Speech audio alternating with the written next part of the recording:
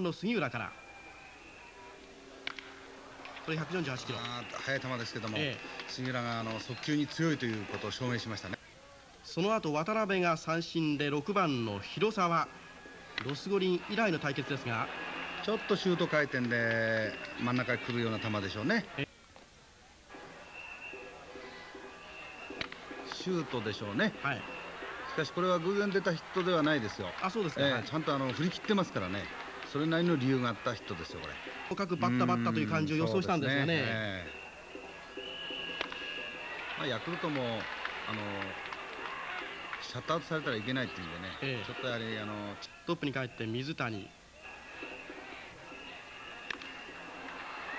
今のバッティングでもねフルスイングじゃないのにあそこまで飛ぶんですよね。あ。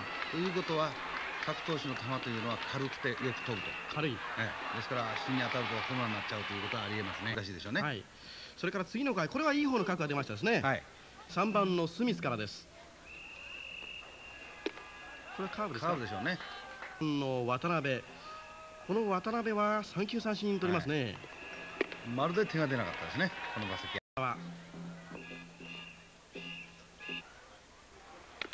スライダーですねこれはいいスライダーこのスライダーはいいんですね。はい。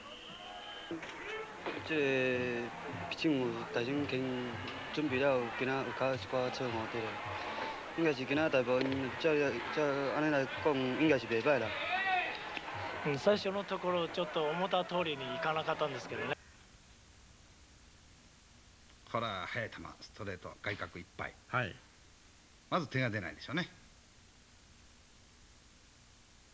うっともうシュートですねこれはもう逃げ腰ですよ。145キロ以上になりますとこう速い感じしますね、それで高い球逃